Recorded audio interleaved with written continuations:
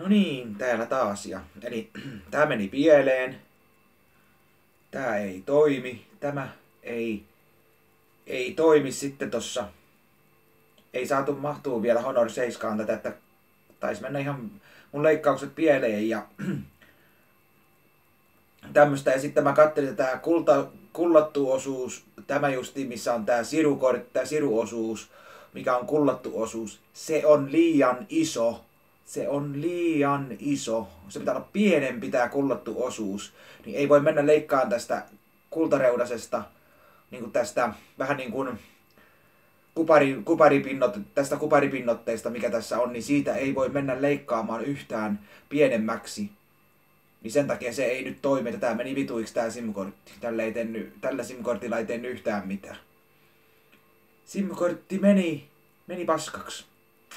Tämmönen tapaus.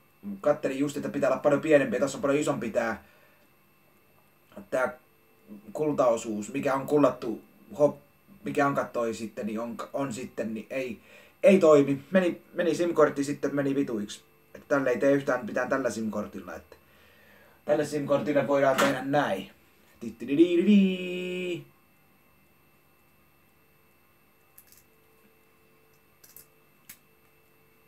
Näin.